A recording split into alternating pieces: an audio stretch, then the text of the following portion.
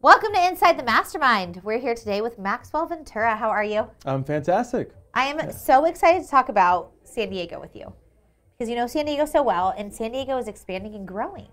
What do you think is going to happen to the future of San Diego? Yeah, tremendously. It's, it is growing. And so um, yesterday, I had the privilege of uh, listening to a living legend, uh, Alan Nevin, who's an economist, local respected economist here Amazing. in San Diego. So I thought it would be it would be helpful to regurgitate some of the uh, the message that he, that he had brought out. But I think first it's important to paint uh, a quick picture as to where the market's at right now. yeah. right? So if we look at year over year numbers, our uh, start with median sales price. It's essentially the same um, as it was a year ago. Okay. Right. So so attached and detached single family homes around seven hundred and sixty seven thousand.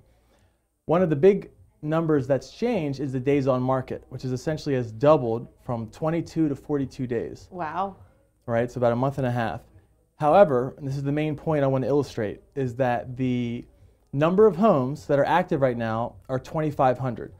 It's up 20% from this time last year, but the number is scarcely low because our month supply of inventory, 1.1 months. And so essentially, Whoa. Quickly. If all homes that were on the market sold right now, in 30 days we would have zero homes on the market. Nobody would be able to buy a home, right? Or one month and one 1.1 months would be out of inventory. yeah, so if the market were to continue moving at the same pace, Yeah. and yet no new inventory were to come to market, we'd only have 1.1 months of inventory. And Which is crazy to me. crazy. And for some context, the healthy market is going to be between four and six months, and even between buyers and sellers market. So we're there's still uh, very low supply and high demand.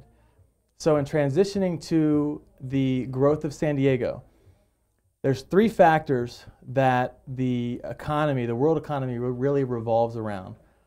That's oil, which I'm not here to talk about, interest rates, and demographics.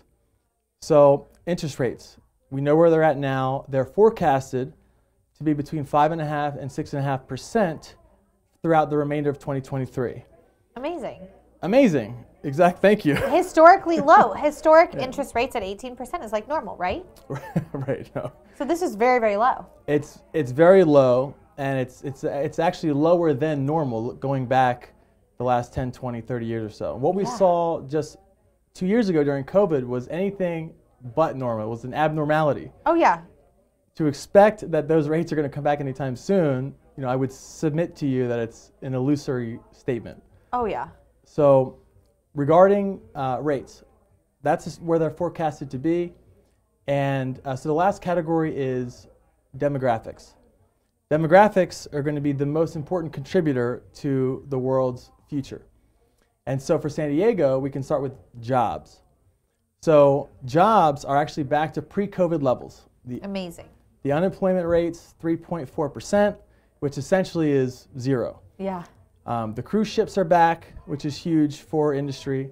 The hotels are running between 70 and 80%, and even the convention centers are, are making their way back, and tourists are here as well. Yeah. And so, lastly, we'll mention um, new construction. So between all of the development projects that are ongoing now and scheduled over the next decade, you have, um, I'll just name just a few because really too many to mention. You have campus at Horton. You have um, IQHQ building out the RaDD district. You have East Village Green. You have 7th and Market. You have Gaslamp Promenade. You have Seaport Village. So just among two of those that I mentioned, IQHQ and um, campus at Horton, 2 million square feet of office space coming wow. in. Wow. It doesn't even count uh, retail. Wow. So we are um, number two in the nation in biotech, life sciences, and AI, only behind Silicon Valley, as you'd expect, and number five in the nation for uh, venture capitalist funding. Wow. So, and that's going to development projects, retail business, et cetera. The main thing about San Diego when it comes to jobs is that they fall under two categories. They're either algorith- algorithmic, as you'd expect, revolve an algorithm. They're very slow and calculated, but it'll always yield a certain result. And they're heuristic, which comes from the Greek word to discover. So it means to use your intuition to figure something out, to find something out.